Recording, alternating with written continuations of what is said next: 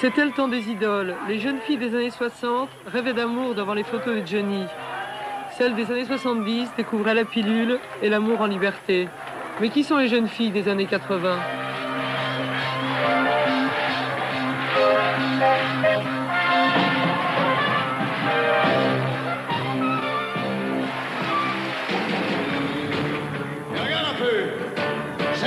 Le monde qui s'offre à elle aujourd'hui a les couleurs de la pub.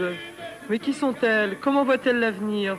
Quels sont leurs projets, leurs désirs, leurs rêves? Pour le savoir, je les ai rencontrées là où elles vivent, travaillent, passent leurs vacances, s'amusent.